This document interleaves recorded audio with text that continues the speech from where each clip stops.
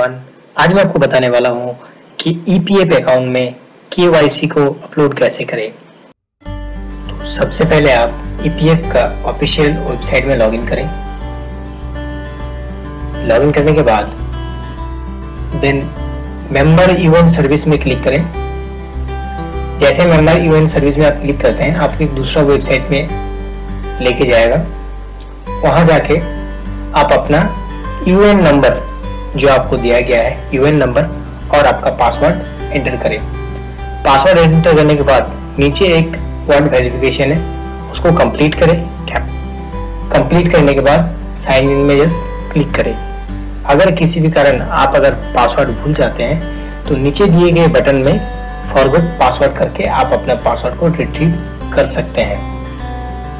एक चीज़ याद रखिएगा, अगर आपको पासवर्ड रिट्रीव करना है तो आपका वैलिड मोबाइल नंबर और आपका डेट ऑफ़ बर्थ ज़रूरी है। अब यहाँ पर मैंने साइन इन क्लिक किया। जैसे मैंने साइन इन क्लिक किया कि जो मेरा यूएन का, मेरा पीएफ का जो मेन पेज है ये पीएफ का मेन पेज में लॉगिन हो चुका है। अब यहाँ पर आप देख रहे हैं, आधार नंबर शो किया गया है। मैंने इसको इनविजिबल कर दिया ताकि इसका मिस ना हो। यहाँ पर आधार नंबर आपको दिखाया गया है। Mobile number, email ID, bank account, अंदर सारा कुछ दिखाया जा रहा है। यहाँ पर के वाई सी स्टेटस जो है, इसको मैं अभी अपडेट करूँगा। और यहाँ पर पासबुक का सेवा भी अवेलेबल है। तो उसके लिए अभी नया एक वेबसाइट बनाया गया है, जहाँ से आपको पासबुक मिल सकता है। तो अभी हम के में क्लिक करेंगे। के क्लिक करने के बाद आप देख रहे हैं, ये नया एक विंडो मेरे सामने ओपन हुआ। इस विंडो में आपको अपना बैंक अकाउंट नंबर और उसका जो नाम आपका बैंक अकाउंट मेन पेज में लिखा हुआ है, उस नाम को एज इट इज़ यहाँ पे टाइप करना है।